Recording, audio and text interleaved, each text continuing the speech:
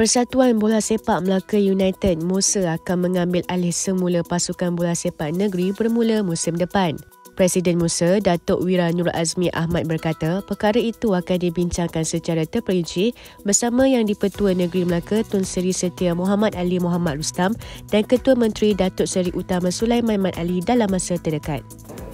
Uh, TUIT memandang serius perkara tersebut ini ada satu image negeri Melaka sendiri dan kita akan pastikan supaya perkara ini dapat diselesaikan dengan baik.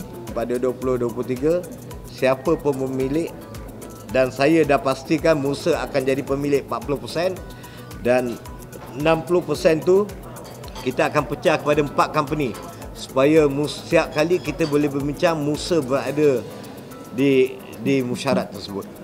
Mengulas lanjut, Datuk Wira Nur Azmi Ahmad berjanji pasukan bola sepak Melaka akan kekal beraksi di Liga Super musim depan. Uh, saya berjanji kepada semua juga uh, uh, fan-fan negeri Melaka dan walaupun kita terlepas Piala Malaysia dengan keadaan gaji, keadaan tim kita yang tidak begitu konsisten dan saya pastikan pada tahun depan kita jadi 8 pasukan yang terbaik untuk layak ke Piala Malaysia secara automatik dan hutang-hutang yang tertunggak kita pasti kita akan bayar sebelum menjelang uh, 2023 Liga Super nanti.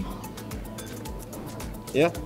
Dan yang pasti juga uh, Musa bertanggungjawab yang seperti saya cakapkan lagi iaitu lembaga hasil dalam negeri kita kena selesaikan dan juga KWSC kita kena selesaikan kalau tidak itu pempat kita tidak layak bukan gaji saja jika kita tidak selesaikan 688 uh, ribu dalam masa terdekat ini kita pun tidak layak Liga Super dan saya akan pastikan benda-benda perkara tersebut dapat diselesaikan secepat mungkin. Beliau berkata demikian pada sidang media selepas menghadiri Kongres Luar Biasa Musa di sebuah hotel di Jalan Bendahara.